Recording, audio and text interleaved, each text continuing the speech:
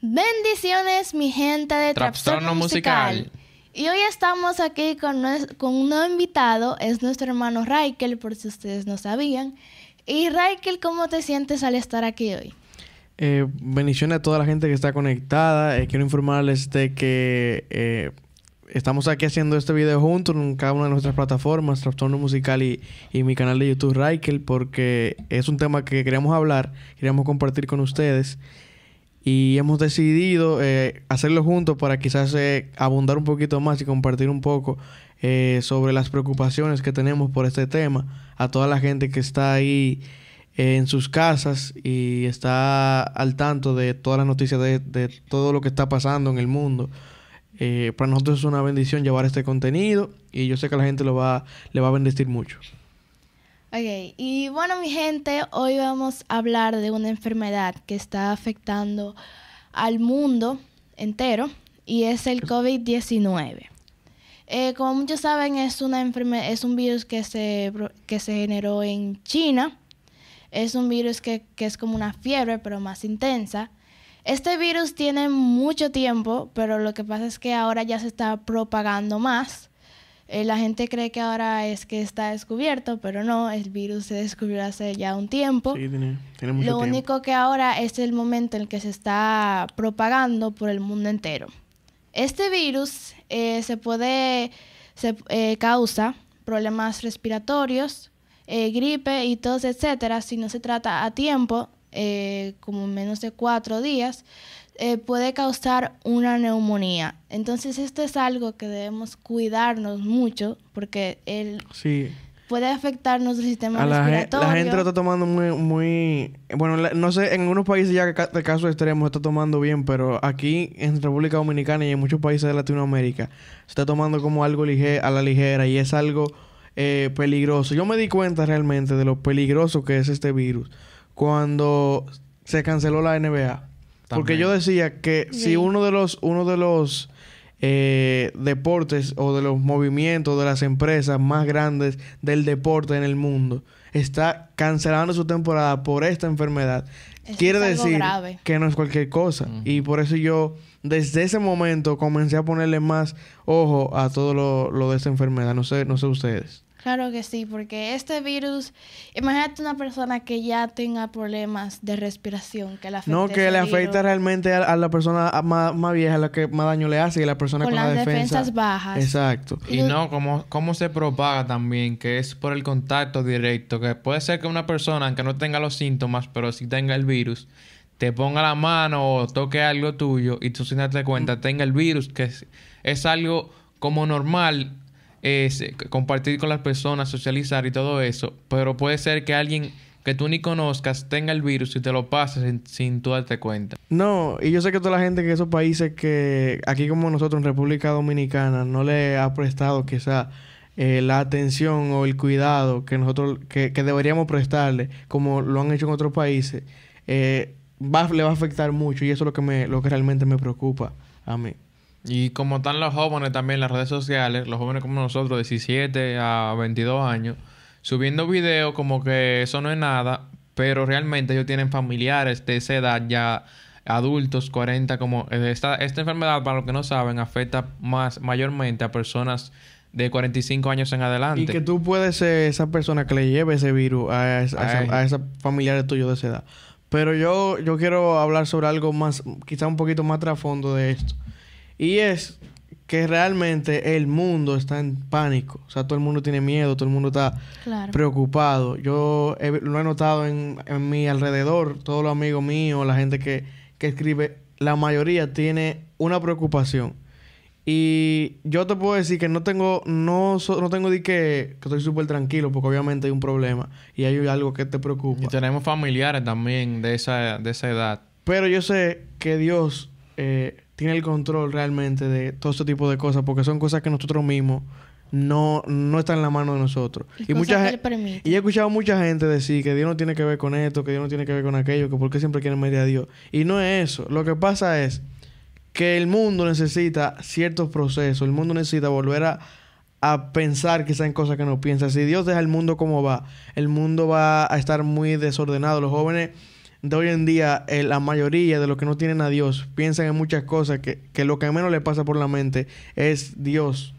Y a veces este tipo de cosas nos recuerdan lo frágil que somos y lo insignificantes en el sentido de que tú quizás puedes tener mucho dinero, puedes tener mucha, mucha fama, puedes tener muchas cosas, pero no, lo más importante que es tu vida no va a estar al, no va a estar al control de tuyo, sino el control de cosas que te rodean que tú no tienes el manejo como la naturaleza. Y yo creo que, que esta enfermedad vino a recordarnos eso, de que no importa la casa que tú tengas, no importa el vehículo que tú tengas. La situación. Eh, si tú no te preocupas por lo que realmente importa, por lo que, realmente vale, ¿qué, ¿qué pasará después de aquí? La Biblia tiene tiempo hablando sobre cosas como esta. Claro.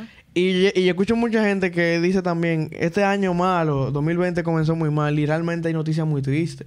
Han habido terremotos, han habido eh, la muerte de Kobe Bryant, le dolió mucha, a mucha gente porque así fue una gente de inspiración. Sí, va a Eh, ser la guerra también. los rumores, guerra. los rumores de guerra. Pero todo eso, ¿dónde está escrito? Ahora mu- muchos han dicho que lo, lo, lo dijeron los Simpsons, que lo dijeron esto. Pero ya la Biblia hace años, cientos de años que viene hablándonos de cosas así.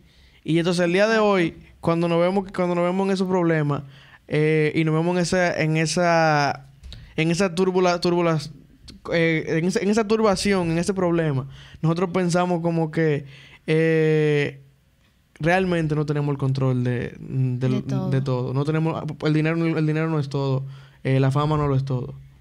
Y también que esto que está pasando desde la cuarentena y todo el mundo está en su casa tranquilo, también le conviene al mundo.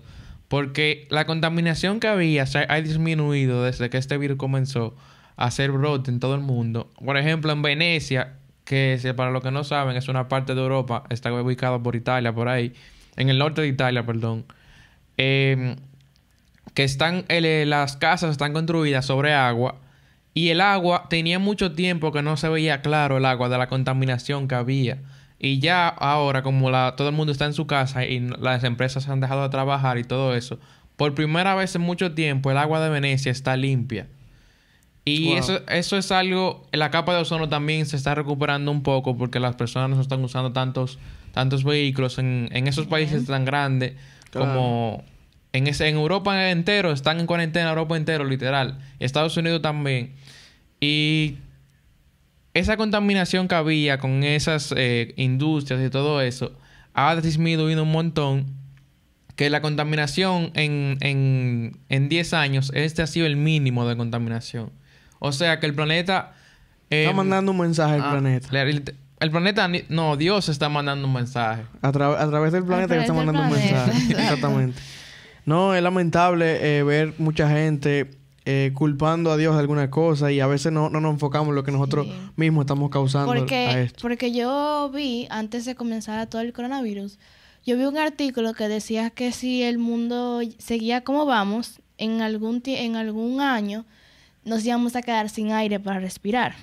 En oxígeno. Sin oxígeno, exacto. Entonces, si mira el corona, mira lo que ha hecho el coronavirus también. Eh, ha limpiado la, la capa de ozono un poco y gracias a eso vamos a tener más tiempo. Eh, según los, los científicos decían, vamos a tener más tiempo en la Tierra. No, y que eh, enfermedades como estas son brechas que, que debemos tomar para realmente meditar en lo que hacemos, meditar en, en qué le estamos dando prioridad cada día, en qué, qué- por qué tomamos el valor de una persona, por qué se mide realmente el valor de alguien, por qué creemos que nos, nos acostumbramos tanto a estar en un sistema eh, adentrados y creemos que ese sistema lo es todo, pero cuando pasan cosas como esta, que todo, o, o sea, el mundo entero está cambiando, ya eh, a mí me gustaba hacer algo quizás a esta hora y yo no puedo, no puedo hacerlo porque no puedo salir, tengo que quedarme en mi casa. Y ver todos estos cambios que estamos sufriendo en el mundo completo.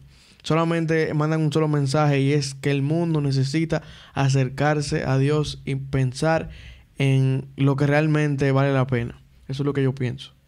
Yo también comparto ese, ese comentario porque todo lo que, como tú dijiste ahorita, todo lo que está pasando en, en el mundo está escrito en la Biblia.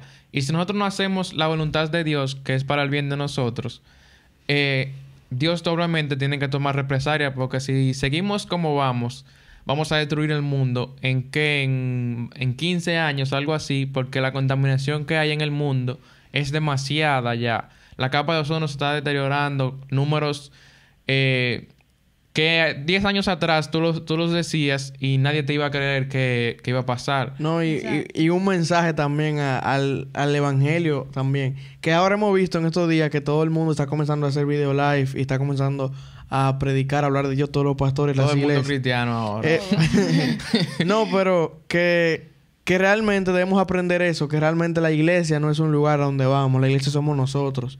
Y donde quiera que esté alguien que, que sea luz, donde quiera que estén reunidos personas que sean cristianas, pueden levantar una iglesia, no tiene que ser nada más cuatro paredes. Porque si, si entonces si, si Dios viene ahora, nosotros tuviéramos un pecado porque no nos estamos congregando, nos estamos yendo a un cuatro paredes. Y eso no es así. Lo que pasa es que congregarse es algo que tú tienes que tomar en ti y que tú eres, no que tú vas a un lugar, sino que tú lo eres, eso. Yo me congrego por lo, lo o sea, yo soy cuando yo cuando yo soy y me acerco a Dios, yo me estoy congregando, no cuando entro por la puerta de una, una iglesia. Y hemos visto que se ha comprendido quizá o se ha puesto más en práctica eso. Sí, todos los pastores ahí en live en Instagram o en Facebook. Pero también vemos a estas personas que tú lo veías antes en las redes sociales y no, no hablaban de Dios en nada, todo, todo era, eh, por así decirlo, mujeres, bebida y todo eso. Y ahora, cuando está pasando esto del virus, ahora sí se acuerdan de Dios, porque Pasa sí lo necesitan. Sí, siempre pasa eso. Cuando estamos en el momento de aprieto nos acordamos de Dios. No, eso es necesario. A veces es necesario que, que pasen estas cosas para que esa gente que, que tienen tanta, tanta fama o están tan enfocados en otras cosas, como dijo ahorita, eh, se acuerden de Dios. Es lo que yo Claro. pienso. Y bueno, mi gente, queremos saber qué piensas tú sobre el COVID-19. Y mi gente, eh, hasta aquí llegamos en el video de hoy. Déjanos allá tus comentarios, todo lo que quieras decir sobre este tema. Y le vamos a dejar en la descripción el canal de Raikel para que vayan y se suscriban también. Claro, mi gente. Eh, suscríbanse a nuestro canal también, activen la campanita para saber más de nuestros videos y estar de primeros cada vez que usamos un video. Y bendiciones. Bendiciones. Drop, drop, drop,